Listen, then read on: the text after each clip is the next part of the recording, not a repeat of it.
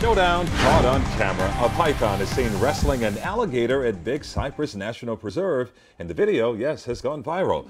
Some would guess that the alligator's strength would probably overpower that python. You huh? would think so, but the video shows otherwise. Our own news reporter, Derek Shore, is live in southwest Miami-Dade with more of this wild encounter. Derek.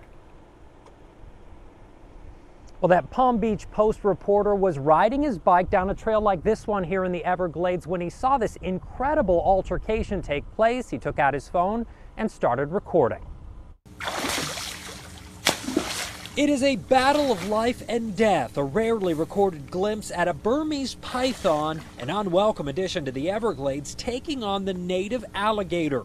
I can't believe that snake is dominating the alligator like that. This is incredible. I couldn't believe it. Joe Capozzi, a reporter for the Palm Beach Post, shot the video. We spoke to him today on the phone. He says he was on a peaceful bike ride until he heard the struggle. And then all of a sudden, the gator would put a fight up again and then would surface to the water and this twirling and twisting and the tail flapping. What you're seeing in that video was a python uh, and an alligator uh, engaged in mortal combat. Frank Mazzotti is a researcher with the University of Florida. He says the Burmese python is an invasive species released by humans that's causing major issues in the Everglades ecosystem. Pythons can clearly cause damage to native wildlife.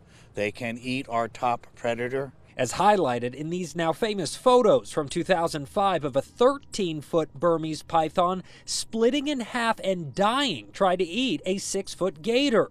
As for this incident, it ended with the gator dead and the python plotting his next move. I guess I felt fortunate to have witnessed it, but it was kind of sad at the same time that the poor alligator didn't seem like it had a chance. And while that alligator did seem to die in this altercation, it isn't clear if the python decided to eat the alligator afterwards. In the past, state officials have scheduled python hunts in order to control the population out here, but experts say more needs to be done. We are live in the Everglades. Derek Shore, Local 10 News. Okay.